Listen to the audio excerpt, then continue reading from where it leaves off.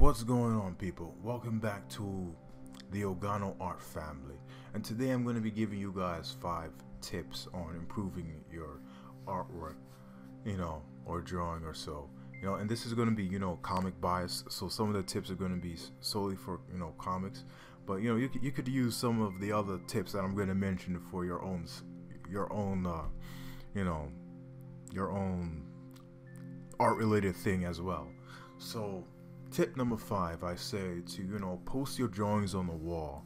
And I feel this will, you know, subconsciously, subconsciously amp you up to continue to, you know, continue to draw. And at the same time, it will constantly, you know, remind you of your mistakes for you to, you know, improve upon them, you know?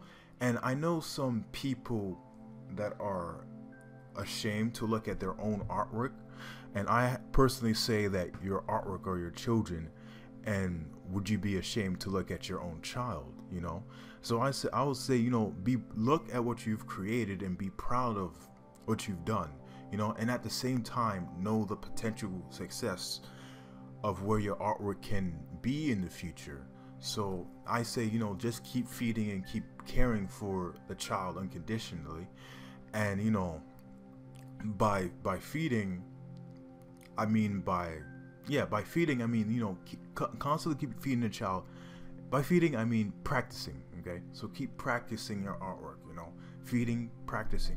You know, show it new experiences. Show the child new experiences. Show your artwork new experiences. New experiences as in challenges. So, you know, constantly keep challenging yourself as to, you know, just constantly keep challenging yourself as to where you want to, you know, be and I feel those challenges will make you, you know, will get you to where you want to go with your artwork, you know.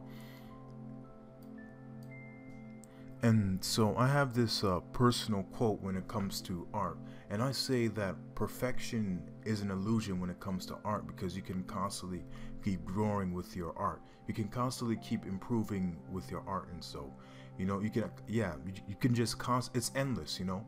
It's just an endless cycle until you're until death arise you know. You can constantly get, keep challenging yourself. The same thing goes for you know a child. You know a child isn't perfect. It could constantly keep growing and keep growing and learning new experiences. But there are some people that feel that they have it all figured out and they stop growing and they stop learning. And that's when you know the gro- the growth just becomes static you know, so you want to constantly keep giving yourself new experiences, constantly keep challenging yourself.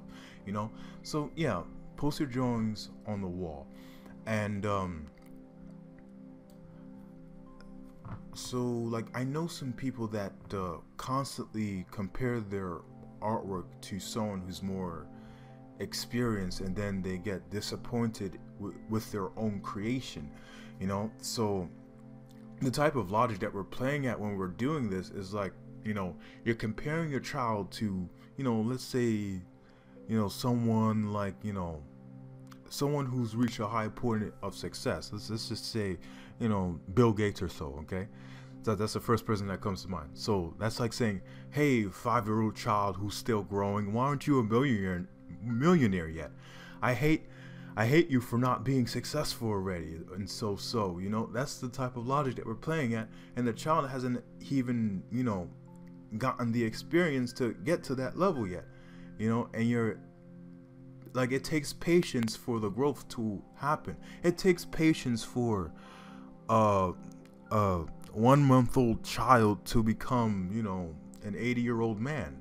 It takes you know those years. It takes patience. You know, and when we compare our artwork to someone who's you know a lot more experienced we have no business doing that because that's like um again you're comparing your artwork to uh, someone who you know has that experience there already. He had he had those he or she had those you know years of you know practice already. You know she, they had that experience already you just have to, you know, be patient, love what you're doing, and you know, just constantly just keep growing. You know, constantly keep, you know, challenging yourself, and you'll you'll eventually get there.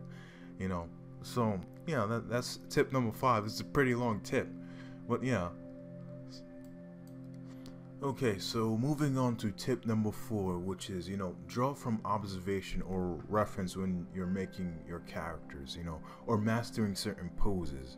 So, so say you are going to a college, you know, you know, there, there um, I for for me, for example, there's drawing one, and then there's figure drawing, which is like completely two different classes, you know.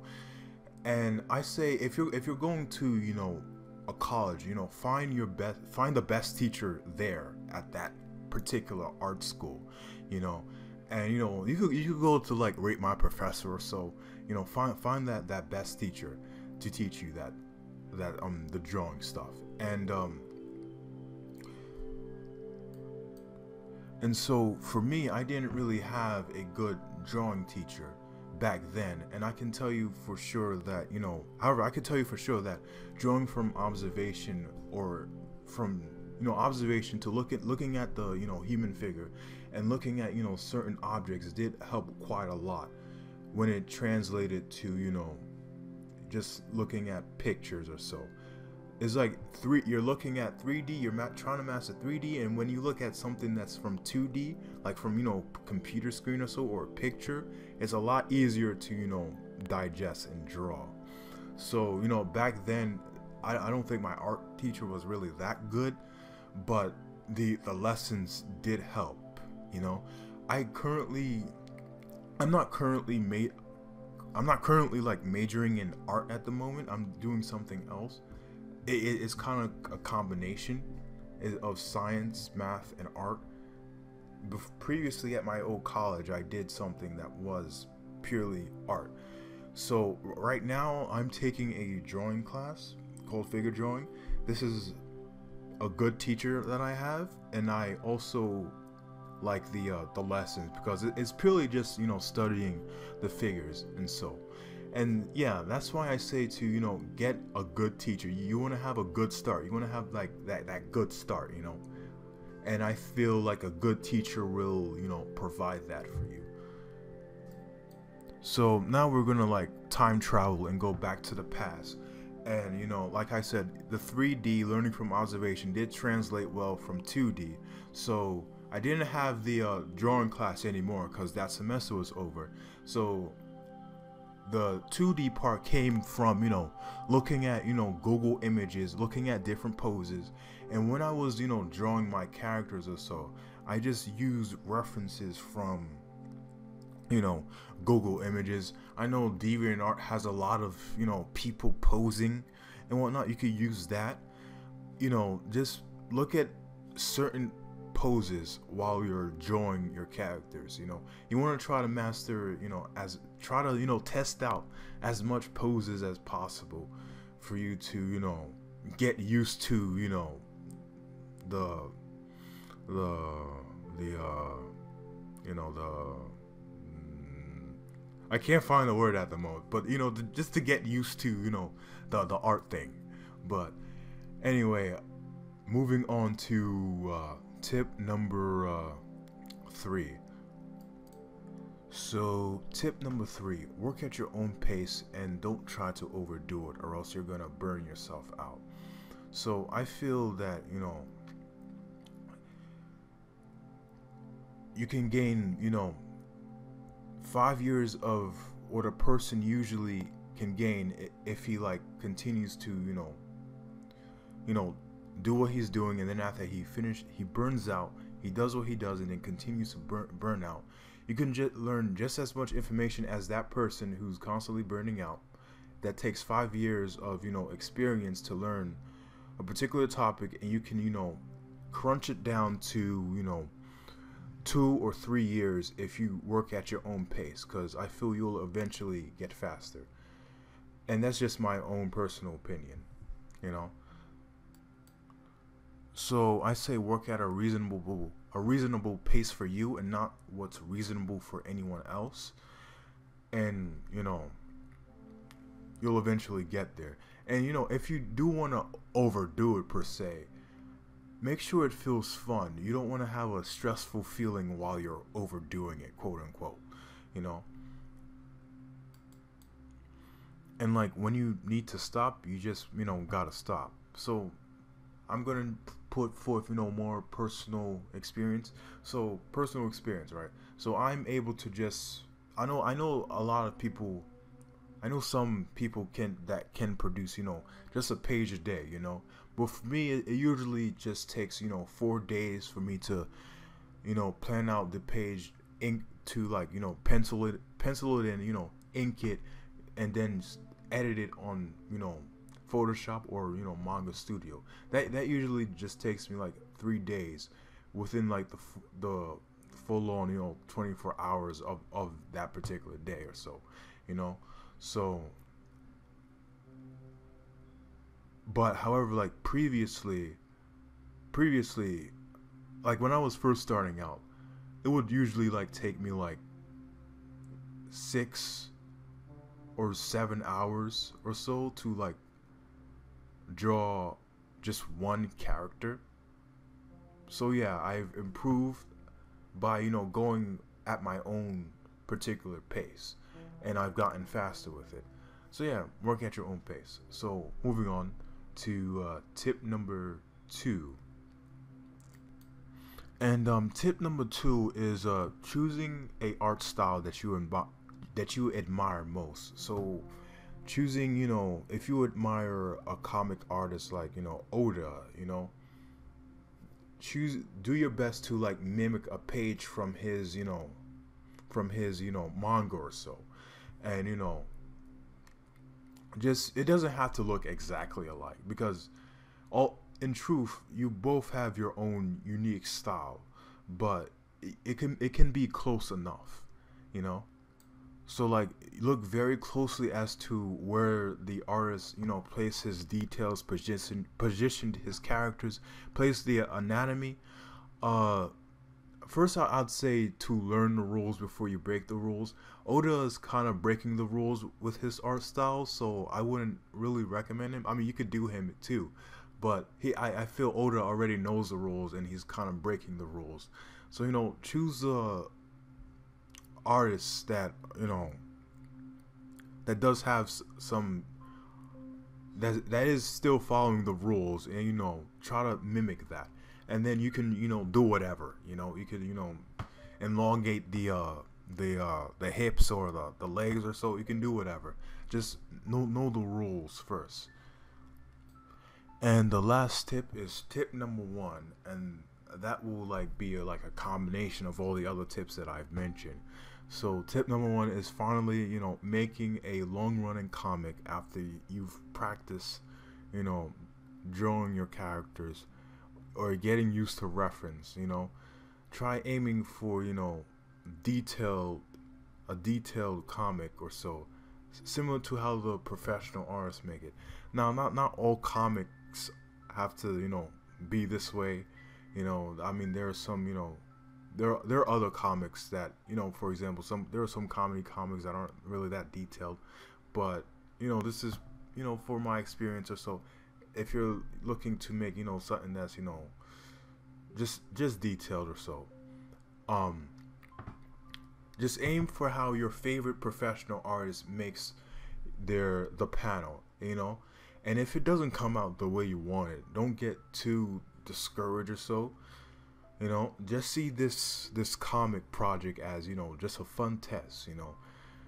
You know and you, and you want to keep uh, challenging yourself to do better you know.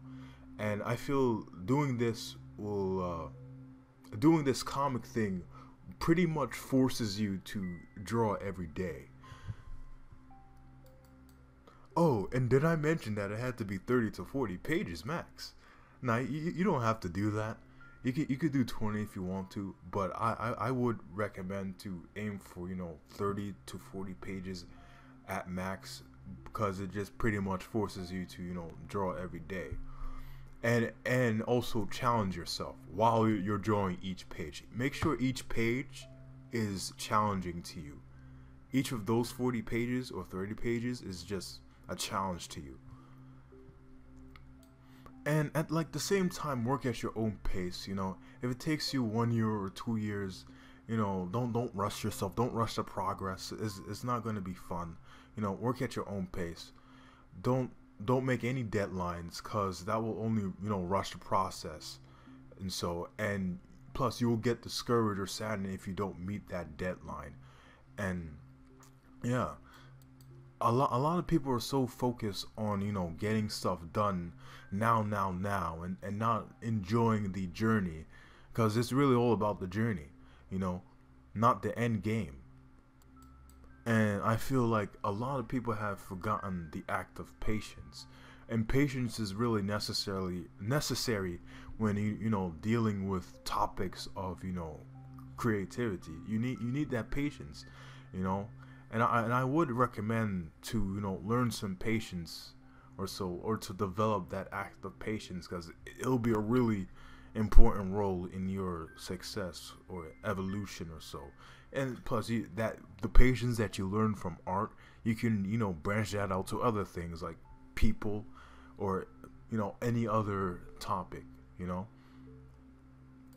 but yeah like 40 to 30 pages may seem like a lot but you know don't worry about finishing it. Just constantly be on that journey every day. Just do do as much as you can every single day you know? Work at your own pace but do it every day. E- even if it's like you're just drawing a face for that page you know? Just do that for the for the day you know and i guarantee you if each page each, of those 40 pages is like a challenge and you're constantly keep pushing you will improve very really really fast within a year or two. And i would say also have a also have the comic of a person that you really admire most you know?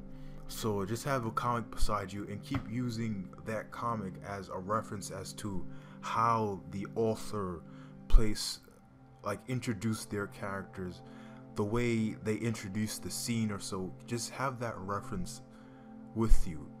Like how many backgrounds did this this your favorite author include in one page or so?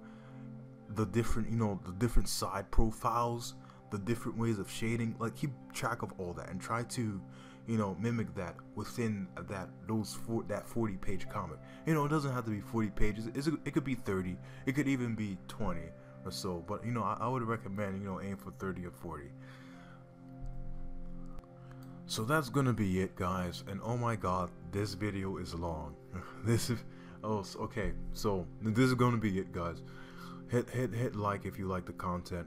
Subscribe if you want more, and that'll be it. Peace out, guys.